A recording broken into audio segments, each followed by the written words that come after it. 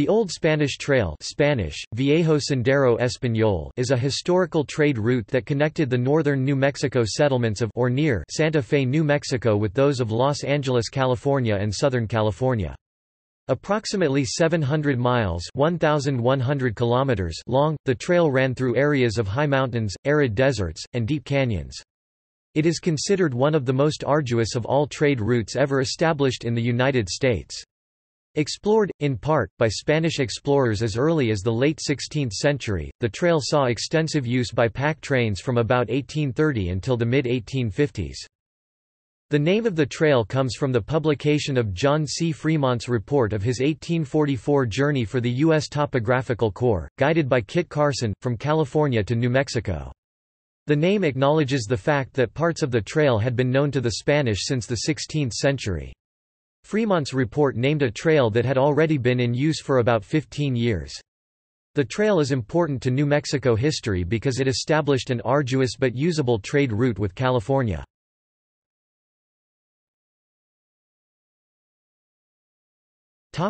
History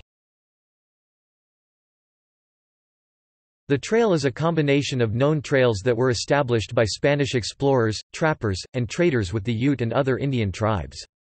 The eastern parts of what became called the Old Spanish Trail, including southwest Colorado and southeast Utah, were explored by Juan María de Rivera in 1765. Franciscan missionaries Francisco Atanasio Dominguez and Silvestre Vélez de Escalante unsuccessfully attempted the trip to California, which was just being settled, leaving Santa Fe in 1776 and making it all the way into the Great Basin near Utah Lake before returning via the Arizona Strip. Other expeditions, under another Franciscan missionary, Francisco Garces, and Captain Juan Bautista de Anza, then explored and traded in the southern part of the region, finding shorter and less arduous routes through the mountains and deserts that connected Sonora to New Mexico and California, but did not become part of the Old Spanish Trail, with the exception of some of the paths through the Mojave Desert. The Mojave Trail, first traveled by Garces, from the Mojave villages on the Colorado River westward across the Mojave Desert, between Desert Springs, until he turned northwestward to the Old Tejon Pass into the San Joaquin Valley looking for a route to Monterey. Garces then returned to the Colorado following the whole length of the Mojave Trail from the San Bernardino Valley over the San Bernardino Mountains at Monument Peak, down the Mojave River and eastward to the Colorado River. The same trail was used by the first Americans to reach California by land, the expedition led by Jedediah Smith in November 1826. The Mojave Desert section of the Mojave Trail is now a jeep trail called the Mojave Road. A route linking New Mexico to California, combining information from many explorers, was opened in 1829–30 when Santa Fe merchant Antonio Armijo led a trade party of 60 men and 100 mules to California. Using a shortcut discovered by Rafael Rivera the previous year, the Armijo party was able to stitch together a route that connected the routes of the Rivera and Dominguez Escalante expeditions and the Jedediah Smith explorations with the approaches to San Gabriel Mission through the Mojave along the Mojave River. Upon the return of Antonio Armijo, the governor of New Mexico immediately announced the success to his superiors in Mexico City. As a reward, the governor officially named Armijo commander for the discovery of the route to California. Armijo's route was documented by him in a report to the governor, and published by the Mexican government in June 1830. After this date, the route began to be used by traders for usually a single annual round trip. Word spread about the successful trade expedition and some commerce began between Santa Fe and Los Angeles. However, in 1830, due to resumed hostilities with the Navajo, the Armijo route west to the Colorado River crossing of the Fathers was not practical, and a new route north of the river had to be found, which used the trails of the fur traders and trappers of New Mexico through the lands of the Utes. This route ran northwest to the Colorado and Green Rivers, then crossed over to the Sevier River, which it followed until crossing westward over mountains to the vicinity of Parowan, Utah. It then passed southward to the Santa Clara River, linking up with Armijo's route to California. This commerce usually consisted of one mule pack train from Santa Fe with 20 to 200 members, with roughly twice as many mules, bringing New Mexican goods hand-woven by Indians, such as serapes and blankets, to California. California had many horses and mules, many growing wild, with no local market, which were readily traded for hand-woven Indian products. Usually two blankets were traded for one horse, more blankets were usually required for a mule. California had almost no wool processing industry and few weavers, so woven products were a welcome commodity. The trading party usually left New Mexico in early November to take advantage of winter rains to cross the deserts on the trail and would arrive in California in early February. The return party would usually leave California for New Mexico in early April to get over the trail before the water holes dried up and the melting snow raised the rivers too high. The return party often included several hundred to a few thousand horses and mules. Low-scale emigration from New Mexico to California used parts of the trail in the late 1830s when the trapping trade began to die. New Mexicans came to settle in Alta California by this route, some first settled in Politana then established the twin settlements of Agua Mansa and La Placita on the Santa Ana River the first towns in what became San Bernardino and Riverside counties. The family of Antonio Armijo moved to Alta California and his father acquired the Rancho Tolenas. A number of Americans, most naturalized Mexican citizens in New Mexico, formerly in the California trade over the Old Spanish Trail or in the fur trade settled in Alta California and became important citizens in later years, like Louis Robidoux, John A. Rowland, William Workman, Benjamin Davis Wilson, and William Wolfskill. The trail was also used for illicit purposes, namely to raid the California ranchos for horses and for an extensive Indian slave trade. These horse raids were made by Mexicans, ex-trappers and Indian tribes, primarily the Utes, most famously Walkara, who together stole hundreds to thousands of horses in one raid.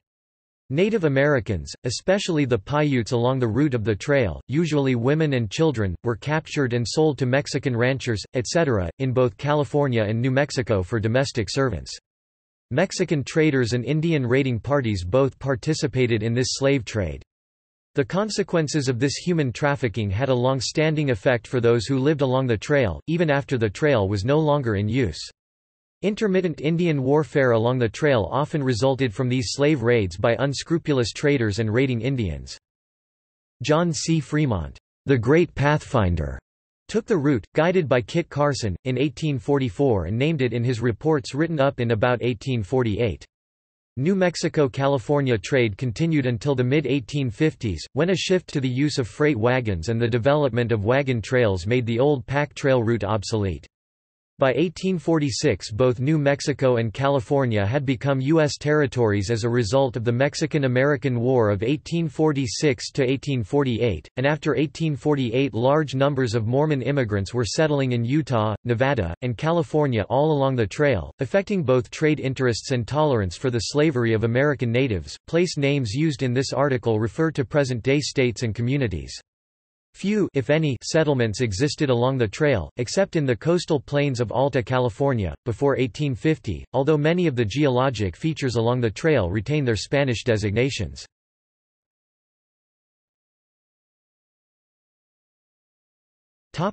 Description of the trail route.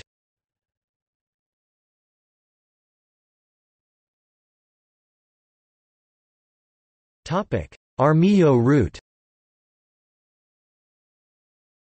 The Armijo route of the Old Spanish Trail was established by an expedition led by Antonio Armijo in 1829–1830. Leaving on November 7, 1829 Armijo's expedition traveled a route northwest and west of Santa Fe from Abiquiu, following the Chama River and the Puerco River, and he crossed to the amazing San Juan River basin. From the San Juan they entered the Four Corners area, passed north of the Carrizo Mountains to Church Rock, east of present-day Kayenta. The trail then ran to Marsh Pass and north through Tsegi Canyon into Canyon Country and to the Colorado River then called the Rio Grande, where the travelers forded at the crossing of the Fathers above present-day Glen Canyon Dam. Continuing west to Pipe Spring and on to Virgin River above present-day St. George, Utah, the expedition then followed the Virgin to the mouth of the Santa Clara River, which they followed up to the vicinity of the Shivwits Reservation. They then crossed southward over the Beaver Dam Mountains, at Utah Hill Summit to the Virgin River again, which they followed for three days down to the Colorado River, before turning west parallel to the river, over difficult terrain in the Black Mountains, to avoid the deep narrow gorge of Boulder Canyon, to the riverside oases of Callville Wash and Las Vegas Wash. Armijo waited there for his scouts to return, especially Rivera who had visited the Mojave villages downriver before. Rivera returned, having recognized the Mojave Trail that led westward to Southern California. Perhaps because of the belligerence of the Mojave to parties of mountain men in recent years, or merely to save time, Armijo attempted a shortcut route southwest to the mouth of the Mojave River.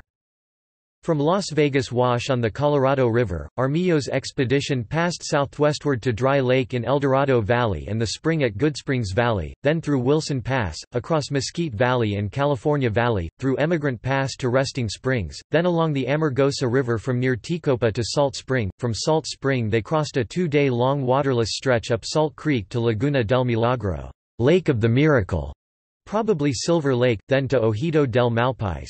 Little Spring of the Badlands on Soda Lake, then another waterless day beyond Soda Lake, where they reached the only intermittently dependable Mojave River and the Mojave Trail leading upriver. By now short of food, Armijo sent some of his scouts ahead to get more food in the settlement at San Bernardino de Sena Estancia. They followed the river for six days 110 miles to its head from the mouth, having to kill a mule or horse each day to eat. Probably at Summit Valley at the top of the river, east of Cajon Pass they met vaqueros of the San Bernardino de Sena Estancia with food. Armijo did not cross over the mountains by the Mojave Trail route over Monument Peak, but followed a route he called Cañón de San Bernardino. From the upper Mojave River west through Cajon Pass and down Crowder Canyon and Cajon Canyon to the mouth of Cajon Pass, where the trail reached the coastal plain of San Bernardino Valley, a route no doubt known to the vaqueros of San Bernardino Estancia. Once through the pass, they turned west along the foot of the San Gabriel Mountains for two days to San Jose Creek, then following it to cross the San Gabriel River at the Rancho La Puente, reaching Mission San Gabriel Archangel on January 30, 1830. Armijo returned by the same route between March 1 and April 25, 1830. He submitted a brief journal of his journey itemizing the days with names of places where camps were made but with no distances to the government of New Mexico, and it was published by the Mexican government in June 1830.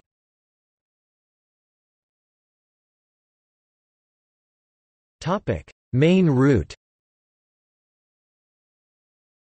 The main route also referred to as the Central Route or the Northern Route of the Old Spanish Trail avoided territory of the Navajo, who had returned to a state of hostilities after Armijo's trip, and the more difficult canyon country traversed by the Armijo route around the Colorado River.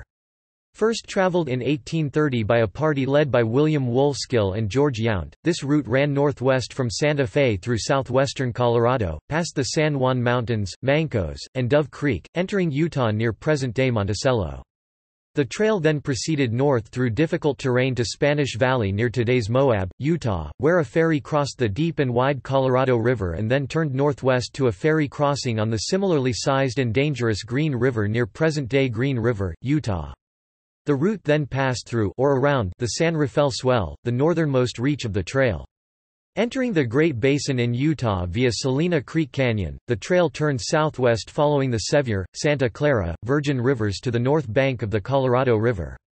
There they could follow the Colorado River to Las Vegas Wash, then south through the El Dorado Valley and Piute Valley to join the Mojave Trail, west of the Mojave villages below modern Laughlin and followed the route between the springs along the Mojave Trail to Soda Lake and the Mojave River. Later caravans could alternatively follow the Armijo route diverting southwestward from the Colorado at Las Vegas Wash, to Resting Springs and to the Mojave River where it joined the Wolfskill, Yount route, following that river upward to and over the San Bernardino Mountains through Cajon Pass, Crowder Canyon and Lower Cajon Canyon and across the coastal valleys to Mission San Gabriel and Los Angeles.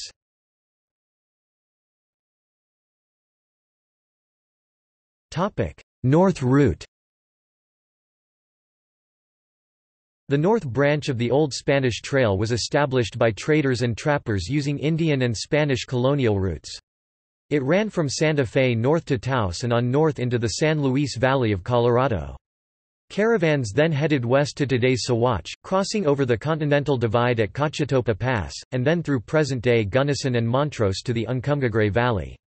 The trail then followed the Gunnison River to today's Grand Junction, where the Colorado River was forded, and then on west to join the main route just east of the Green River. The North Branch later became an interest of explorers seeking viable routes for a transcontinental railroad along the 38th parallel. In 1853 alone, three separate expeditions explored the North Branch over Cochetopa Pass. These groups were led, in order, by Lieutenant Edward Fitzgerald Beale, Captain John Williams Gunnison, and John C. Fremont.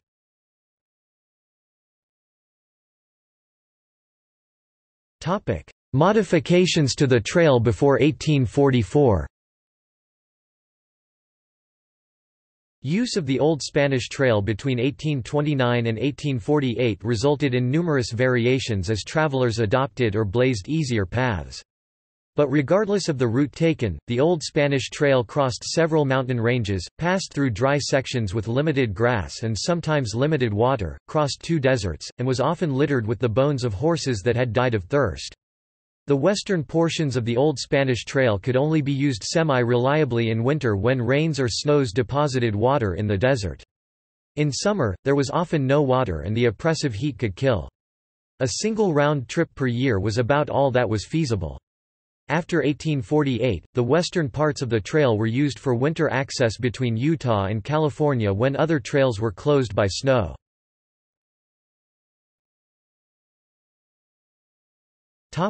Lower Narrows Crossing, Cajon Pass Cutoff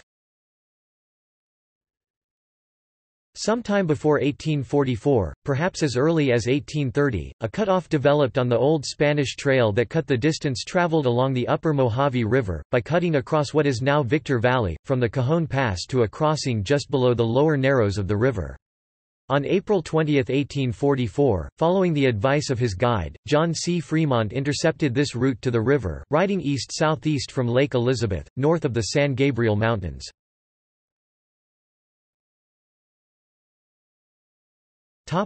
Salt Spring, Fork of the Road Cutoff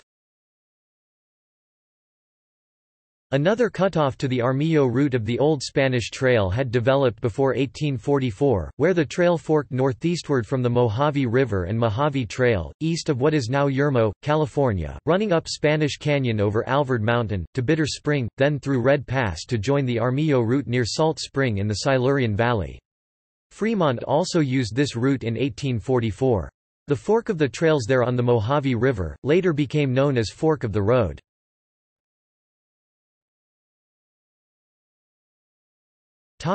Fremont's cutoff One last modification to this route was that followed by John C. Fremont eastward in 1844.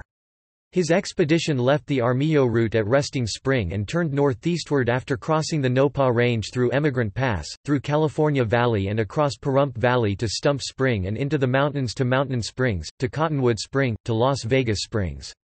He then crossed the dry 50 miles to the Muddy River before rejoining the main route on the Virgin River at Halfway Wash after crossing what later became known as Mormon Mesa. This route saved the large distances caused by the diversion of the Armijo and main routes to follow the Colorado River, and would later become the route of the Mormon Road, the wagon road through southern Nevada between Salt Lake City and Los Angeles. See also, National Trail Map of Old Spanish Trail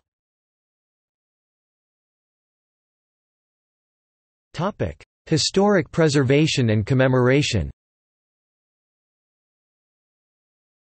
In 1988, a section of the trail in Arches National Park was placed on the National Register of Historic Places. In 2001, the section of the trail that runs across Nevada from the Arizona border to California was placed on the National Register of Historic Places as the Old Spanish Trail, Mormon Road Historic District. The Old Spanish Trail became the 15th National Historic Trail after Congress adopted Senate Bill 1946 and President George W. Bush signed the legislation in December 2002 Although few traces of the early Traders Trail remain, the trail is now commemorated in many local street and road names, and numerous historical markers in the states that it crossed. Portions of US 160 in Colorado and US 191 in Utah are similarly designated.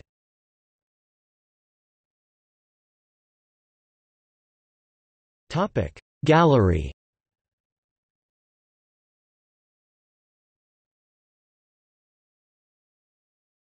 Topic. Notes.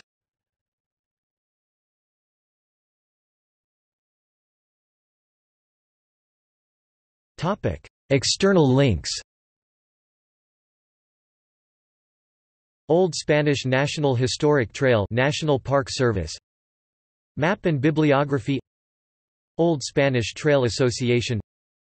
Map, Old Spanish National Historic Trail National Park Service, Historic Trail Maps, Old Spanish Trail Map and History Old Spanish National Historic Trail, BLM page